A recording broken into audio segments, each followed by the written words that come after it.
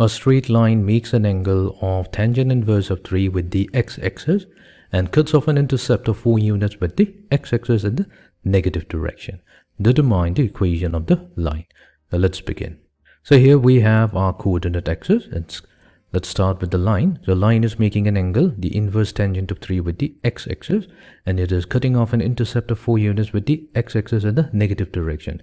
That means to the left of the origin O, the x-axis is going in the negative direction. So our line is going to uh, cross the x-axis uh, x-axis at a particular point A such that the distance OA, so that's going to be equals to 4 units or simply negative 4, such that we can define the coordinates of point A as negative 4 comma 0.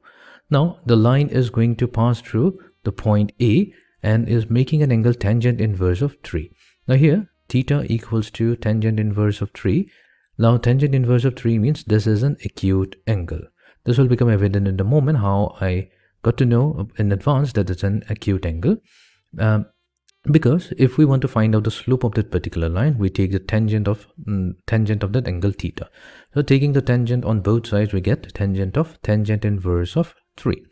Now tangent of tangent inverse of 3 that simply equals to 3 this is a positive value. So whenever our slope has a positive value so tangent theta which is denoted by m then we consider the angle to be acute. So that means the line is going to be an acute angle the line the angle that the line makes with the x-axis is going to be an acute angle which means that our line is going to look something like this. So this is the angle theta that it makes with the positive direction of x-axis and it's given by tangent inverse of 3 okay. Now we have here is the x-intercept but what we need is actually the y-intercept. So let's call this particular point as b with the coordinate 0 comma c. So we first find out the coordinate of point b. For this we will be using the slope to calculate the value of c. So let's calculate the slope so the slope of the line that will be equals to now that the slope is 3, but we are going to use the definition. So here, what we'll do, we need y2 minus y1 and divided by x2 minus x1.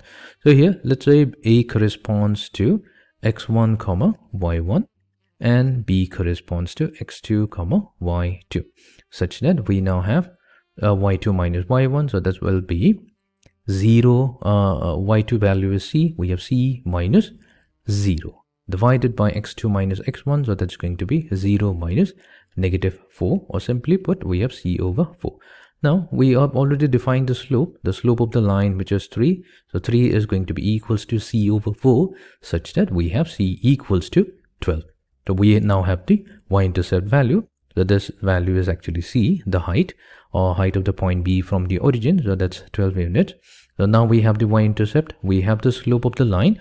We can use the slope-intercept form of the line which is given by y equals to mx plus c.